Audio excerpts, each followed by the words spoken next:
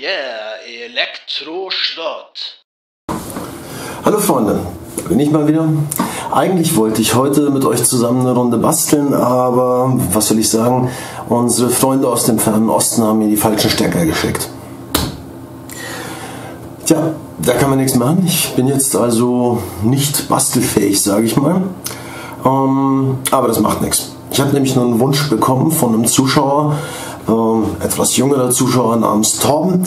Und der Torben hat so ein paar von meinen älteren Teardowns gesehen, Notebook und so ein Kram. Und äh, hat geschrieben in den Kommentaren, dass er wahnsinnig gerne mal einen Teardown sehen würde von einer Floppy und von einem CD-ROM. Äh, ich vermute mal, der junge Mann hat noch nie in seinem Leben eine Floppy benutzt, durchaus denkbar. Ja, was soll ich anderes machen, als mich an dieser Stelle den Wünschen zu beugen? Ich habe hier also diese Floppy. Ich habe noch eine Festplatte als Bonus und ich habe ein CD-ROM. Alle aus meiner Kiste zum Ausschlachten. Und ich würde sagen, die nehmen wir jetzt einfach mal auseinander und gucken, was da drin ist. Da kann ja Torben noch was lernen und so manche andere von euch bestimmt auch.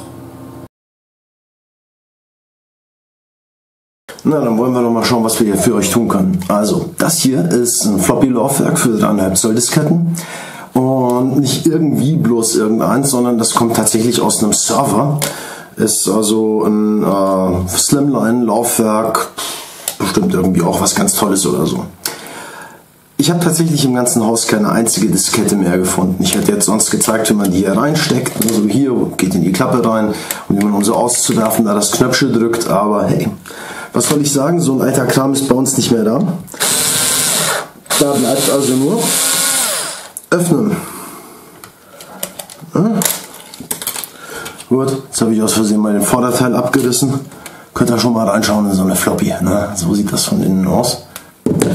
Was übrigens hier an der Rückseite auffällt, die Floppy hat hier putzige kleine Testpunkte, mit denen wahrscheinlich im Werk, nehme ich mal an, so Pogo-Pins runtergekommen sind.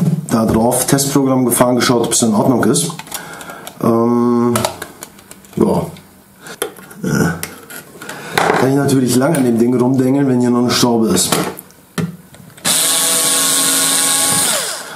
Unglaublich, dass ich noch darauf reinfalle, dass diese Penner ihre Schrauben unter den Aufklebern verstecken. So.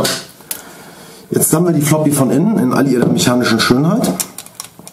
Kann man ja mal eben zeigen. Das hier ist der Schreiblesekopf.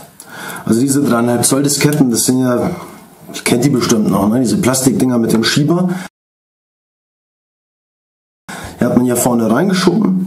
Dann ist hier unten durch so eine Mechanik der Schieber aufgegangen und der Schreiblesekopf hier genau genommen die beiden, das sind nämlich zwei, einer oben, einer unten, falls ihr es hier sehen könnt, ja, haben sich dann die Diskette geschnappt und dieser Motor hier, schauen wir mal, ob wir ihn schon abziehen können. Ja. Dieser Motor hier hat dann die Diskette gedreht, ganz doll schnell. Und na, ich reiß den einfach mal ab. Und dann konnten also Daten gelesen werden. Was hier ganz interessant ist, also so einen habe ich noch nicht gesehen bei so einem Slimline-Laufwerk. Also das ist wirklich ein unheimlich flacher Motor. Also das ist ein BDLC, also so ein brushless DC-Motor, wie man so auch aus Festplatten kennt. Da sehen wir nachher noch einen etwas größeren. Aber in der Flachheit hier ungewöhnlich. Ja. Ähm, jetzt wollen wir mal schauen, ob wir hier an der Mechanik noch ein bisschen was auseinanderfrickeln können.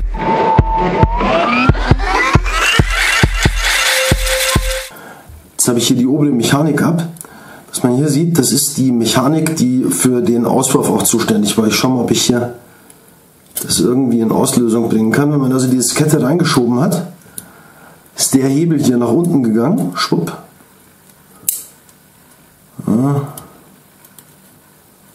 Das war noch nicht alles, was da passiert ist. Ah, hier ist noch so ein zweites Ding. Jetzt ist gewissermaßen der Disk drin. Ne? Sieht man hier auch, ist ein gewisser Abstand zwischen den Dingern. Jetzt müsste eigentlich. Ne? Äh, ach, ich bin kein guter Diskettensimulator irgendwie so, was man dann drauf gedruckt hat, wo das ausgelöst fuhr. Ähm, Federn, immer aufheben. Federn sind cool. Und so sieht die Elektronik von den Dingen aus. Beim normalen Diskettenlaufwerk war das auch alles noch ein bisschen weniger kompakt. Also die hatten dann immer eine Platine unten, so ähnlich wie hier die Festplatte. Aber eben dieses Slimline-Laufwerk hier ist sehr, sehr kompakt gemacht. Man sieht hier oben, ich nehme mal an, die hier sind äh, die äh, Fühler, die diesen, diesen Schreibschutzschalter tatsächlich erkannt haben. Interessanterweise auf beiden Seiten. Ich weiß nicht, ob es Disketten gibt, wo der auf der anderen Seite ist. Habe ich zumindest noch nie gesehen. Oh, ja. Dann haben wir hier unten den Steibbläsekopf. Und der Steibbläsekopf, der sitzt auf so einem kleinen Schlitten, der von der Spindel hier angetrieben wird.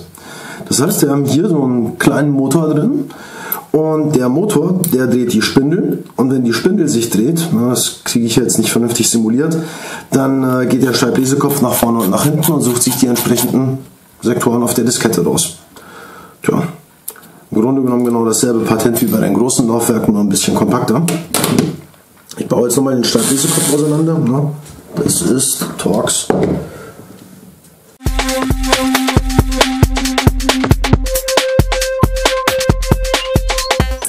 man hier auch mal die Schreibbläseköpfe.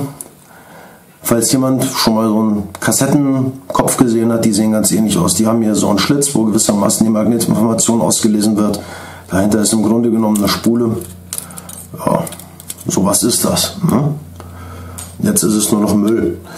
Ähm, was hier allerdings noch ganz gut ausbaubar und weiterverwendbar ist, ist der Motor. Den werde ich mir auch auf jeden Fall wieder retten. Ansonsten, pff, ne, ist halt Krempel. Ne? Aber so sieht so eine alte Floppy von innen aus. Habt ihr jetzt auch mal gesehen.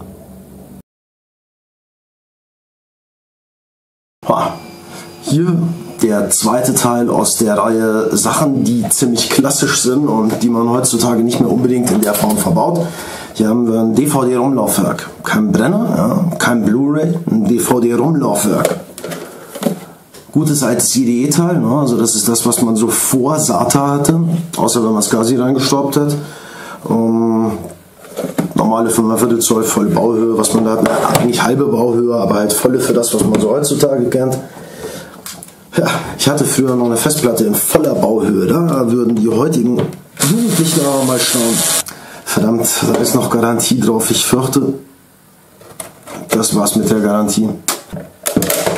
Zapp dann noch ein bisschen Gewalt und dann geht's ab. Das hier ist die Abdeckung der Schublade, ne? so sieht es jetzt von vorne aus. Das ist die Blende und beides ist Müll. Jawohl. Ja. Da sieht man dann die etwas bessere Qualität, wie sie in den Servern verbaut wird. Solche Sachen wie hier so ein äh, Staubschutz ähm, Schaumgummiring ist eigentlich nicht üblich bei normalen Consumer-Laufwerken. Wir sehen hier das Kabel, das zum äh, Motor geht. Das werde ich hier mal kurz abmachen. Zap, zap. Den Motor werden wir uns nachher rausschrauben, der ist natürlich aufhebbar. Was man hier jetzt sieht, ist, ist äh, auf den Dingern damals echt viel Elektronik drauf gewesen. Ich glaube, da sind heutzutage echt kleine Chips drauf. Ähm, allerdings nicht wirklich sehr, sehr alt, weil das Hühnerfutter hier drauf ist schon echt mickrig. Ne? Es sind hier so 0402er Teile drauf. Also das ist schon kleines SMD. Ja. Gut. Ähm, freundlicherweise haben die Leute bei Sony sich hier gedacht, dass es möglich sein sollte, dass äh, man die Platine einfach rausklipst und rausnimmt. Oh, das tun wir. Ja. Da unten ist noch so eine blöde Flatflex-Verbindung für den zweiten Motor.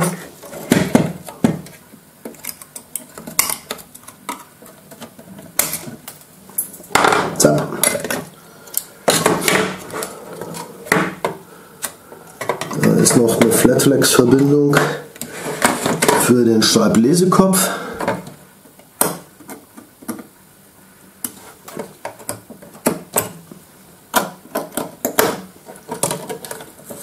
Ja, auch das entfernt.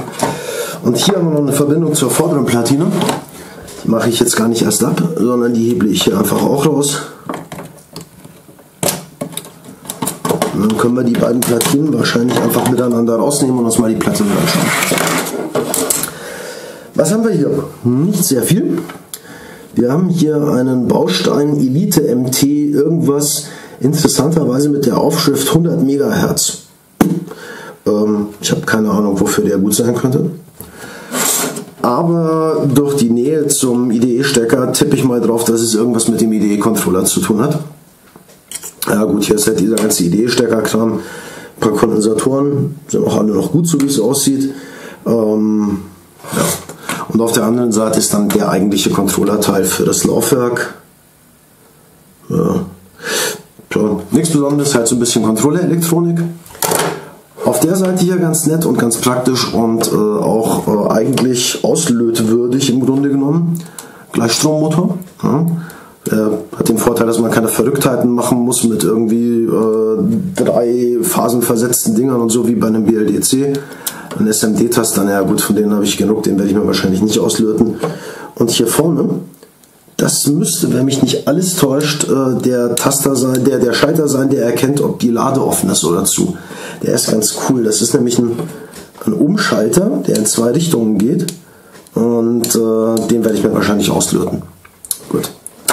Da ich allerdings nur von der Seite vom Board was haben will, trenne ich das mal hardcore ab. Diesen Teil vom Board hier ab den Müll. Das Laufwerk an sich. Hier haben wir jetzt schon deutlich mehr Plastik. Schauen wir mal, ob es noch Schrauben gibt, die wir direkt lösen müssen. Sieht nicht so aus. Hier sind auch keine mehr drunter. Hier auch nicht. Jetzt müssen wir also mal schauen, wie wir hier weiterkommen in der Demontage. Wir wollen es ja nicht aufheben. Wir haben hier die äh, Schublade für das DVD-ROM. Mal gucken, die ist gerade verriegelt. Ich sehe gar nicht die Mechanik, wo ich es entriegeln könnte. Hier. Hm. Das ist die Schublade. Die nehmen wir raus. Ja, Schublade ist raus. Hier haben wir jetzt den äh, Motor, der die Disk antreibt. Das ist so ein kleiner Brushless DC Motor wieder, wie wir ihn vorhin auch schon bei der äh, Floppy hatten. Dann haben wir hier den eigentlichen Schreiblesekopf. Und diesen sehr interessanten Teil, den holen wir uns jetzt mal gleich raus. Bäh. Er ist hier auf fürchterlich glibberigen Stangen gelagert. Die sind natürlich geschmiert. Und so sieht dieser Schreiblesekopf aus. Das hier ist wohlgemerkt nicht die Laser-LED, sondern das ist eine Linse, wo die Laser-LED dahinter sitzt. Ähm, ich entferne hier mal die überflüssigen Kabel. Dann schauen wir mal, ob ich es finde, damit ich es euch zeigen kann. Ja, nee, das ist noch alles ein bisschen verdengelt. Das muss ich gleich noch ein bisschen auseinanderschrauben. Dann äh, zeige ich euch mal von innen, wie das hier aussieht anders als so manches andere solche Teil, das ich bisher hatte, sperrt sich das Sony-Ding ziemlich gut gegen Auseinanderschrauben. Mit Sicherheitsschrauben und jeder Menge hier Kleber-Kit-Ding, was weiß ich. Aber das hält uns ganz sicher nicht davon ab, mal in diese Schreiblese-Assembly reinzugucken, beziehungsweise hier ist es ja nur ein Lesekopf, ist ja kein Brenner. Tada! Mit dem Schraubenzieher kriegt man alles auf. So. Das hier ist jetzt tatsächlich alles nur noch Müll, das ist einfach nur Plaste. Und ich habe gelogen, weil hier ist tatsächlich nur noch die Linse. Irgendwo im vermeintlichen Müll oh, findet sich unser Laser. Na, wo ist er dann? Ah. Hier ist er, wo ich die Kabel abgerissen habe. Das Blöde ist bloß, da sind mit Schlonze gesicherte Schrauben drauf, die extrem fest sind. Die kriege ich jetzt nicht raus. Ha. Wir schauen, ob noch ein bisschen was mit Gewalt geht. Ja, irgendwas geht immer süßer kleiner Chip, der da drin gesteckt hat. Oh. Ja. Jetzt kann man hier drin so ein bisschen was von dem Laserzeug sehen. Das war gerade, der Chip war wahrscheinlich gerade der Detektor, der Laserdetektor, der ähm, also den Laserstrahl zurückbekommt und dann sieht, was an Signal da ist. Ja, die äh, Laserdiode steckt hier drin, aber Entschuldigung, kriege ich jetzt nicht raus. Egal. Hm, stellt euch einfach ein Teil vor, das so aussieht wie. Ja.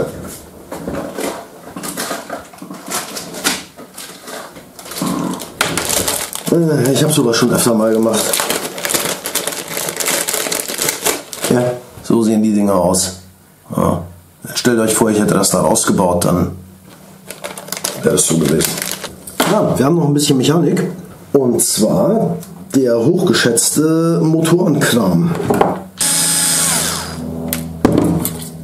Ja, das hier ist also dieser bürstenlose Gleichstrommotor, dieser BLDC, der die Scheibe da antreibt.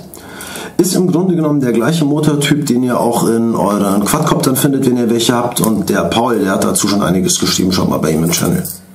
Der hier hört sich nicht gesund an, wenn ihr mich fragt. Ich glaube, das Laufwerk hat schon vorher nicht mehr so funktioniert. Aber wenn ihr euch den hier mal anschaut, das ist die normale Dicke von so einem Ding. Und das hier ist nochmal der aus der Floppy von vorhin. Da seht ihr schon, das Ding aus der Floppy, das ist schon ein bisschen was Spezielles. Und weil natürlich auch hier der Steibbläsekopf irgendwie in Bewegung versetzt werden musste, ist auch hier so ein Motor mit so einem Schneckengewinde drin. Und auch den hole ich mir wieder raus. Von denen habe ich jetzt schon einige gesammelt und nein, ich habe keine Ahnung, was ich eigentlich damit anfangen will. Aber ich bringe es nicht über mich, funktionierende Motoren mit so einem schönen Gewinde wegzuschmeißen. Vielleicht fällt mir irgendwann mal was dafür ein. Oder euch. Könnt ihr mir schreiben in den Kommentaren unten. Die restliche Mechanik ist genau das, ein bisschen Plastik, ein bisschen Metall. Ähm, das ist weder interessant noch lohnt sich da irgendwas auszubauen. Deswegen schmeiße ich es einfach weg. So, meine Damen und Herren, willkommen in der relativen Computerneuzeit. Eine Festplatte.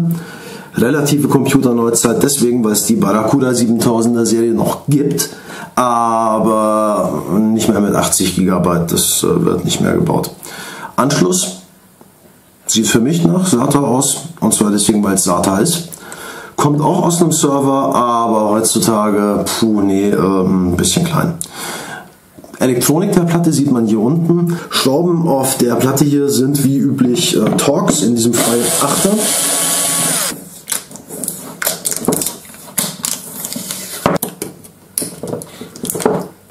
Äh, wusste ich noch.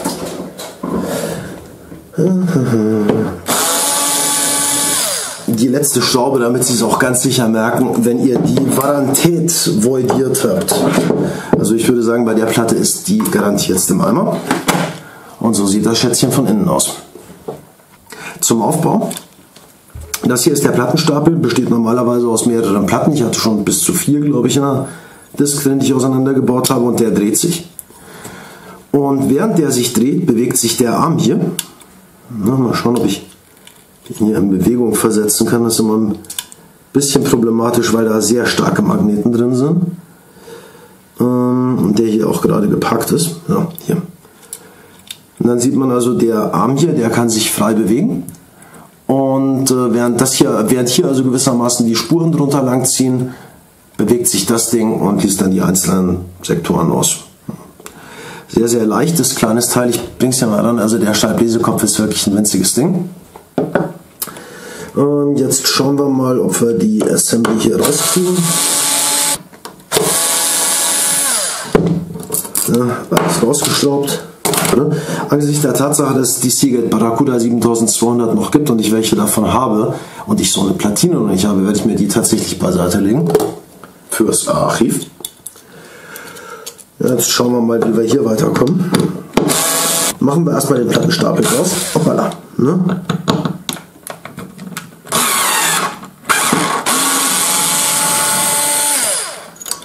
Wow, kaputt gedreht. Das ist so ein Problem mit dem Bosch XO hier. Ne?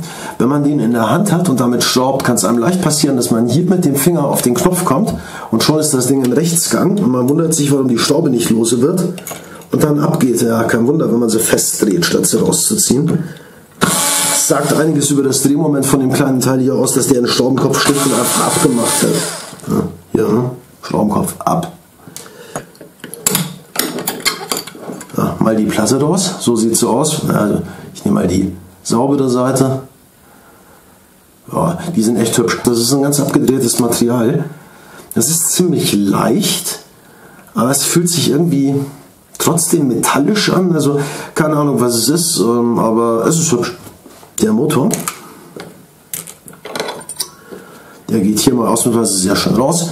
Das ist eben auch so ein Brushless DC Motor, 7200 Umdrehungen. Da kann man ganz hübsche Sachen mitmachen. Ich weiß zwar noch nicht so ganz genau, was ich damit machen will, aber die Motoren, die hebe ich mir auch immer auf, sind auch cool.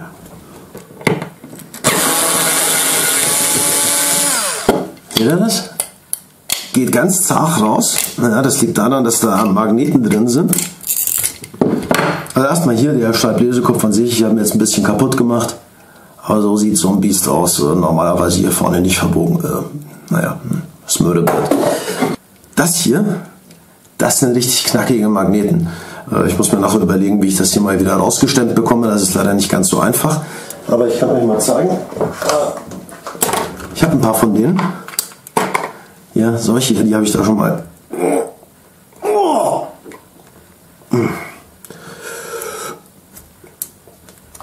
Das sind welche, die habe ich schon aus Platten rausmontiert. Die haben richtig Power. Also die haben richtig Power. Hier unten drin ist auch noch einer. Der ist noch mit einem Schleubelchen gesichert.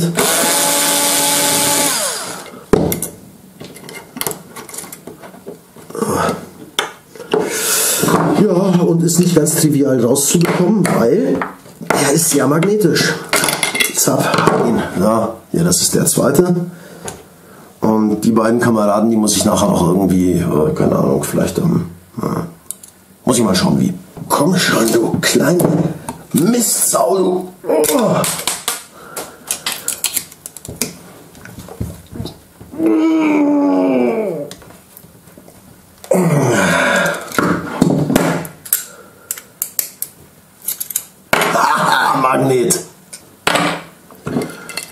Was übrig bleibt, ist Aludruckguss, die, das Festplattengehäuse gewissermaßen an sich.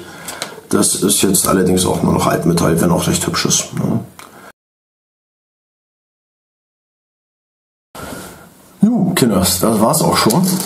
Gesamtbeute, diese ähm, Motor und noch ein Motor und noch ein Motor, ein weiterer Motor, eine Scheibe, ah cool, und zwei Festplattenmagneten. Besser als nichts. Torben, ich hoffe, das war ungefähr das, was du dir an Folge gewünscht hast. Nächstes Mal, äh, wenn hier der Elektroschrott vor sich hin stottet, dann gibt's wieder Bastelei. Ich verspreche es, weil äh, ich glaube, die Chips aus China, die liegen schon im Büro, aber jetzt Wochenende und, ne, wisst ihr. Äh, ich hoffe, dass ich bis zum nächsten Wochenende was auf die Reihe kriege und ähm, Tschüssing.